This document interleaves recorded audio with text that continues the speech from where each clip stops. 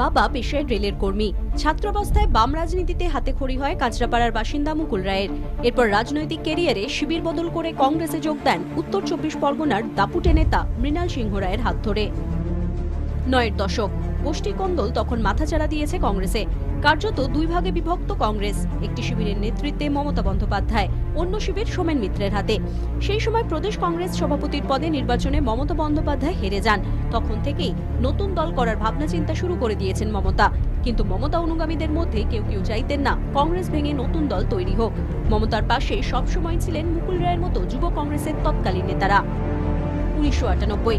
শেষ পর্যন্ত কংগ্রেস থেকে বেরিয়ে এসে তৃণমূল কংগ্রেস গড়েন মমতা বন্দ্যোপাধ্যায়। অজিত পাঁজা, পঙ্কজ বন্দ্যোপাধ্যায়, শোভনদেব চট্টোপাধ্যায় ছাড়া মমতার সঙ্গে তখন বেশ কিছু উঠতি যুব নেতা তাদের মধ্যে মুকুল রায় অন্যতম। নয়া দল, এক বছরের মধ্যে লোকসভা ভোট, তাই বিস্তর কাজ। কাঁচরাপাড়া ছেড়ে তখন মুকুল রায়ের ঠিকানা তৃণমূল ভবন। সকাল থেকে রাত পর্যন্ত অক্লান্ত পরিশ্রম। রাজ্যের এ প্রান্ত থেকে ও প্রান্ত চষে বেড়ানো। আর এরই মধ্যে অবিন্যস্ত তৃণমূল কংগ্রেসকে সাংগঠনিক চেহারা দেওয়ার দায়িত্ব মুকুল রায়ের হাতেই তুলে দেন মমতা বন্দ্যোপাধ্যায়। তীক্ষ্ণ বুদ্ধি। কম কথা বলেন। কর্মীদের সঙ্গে অত্যন্ত সাবলীল। অসাধারণ সাংগঠনিক চিঠিপত্র লিখতে পারেন।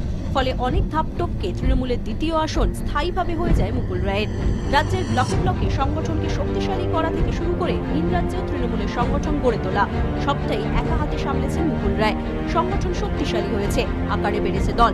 আর যুব কংগ্রেসে সেই সামান্য সৈনিক হয়ে উঠেছে তৃণমূলের সেনাপতি। দলের সেকেন্ড ইন কমান্ড তৃণমূল কংগ্রেসের সর্বভারতীয় সাধারণ সম্পাদক। চব্বিশ ঘণ্টার জন্য উজ্জ্বল মুখার্জির রিপোর্ট কলকাতা।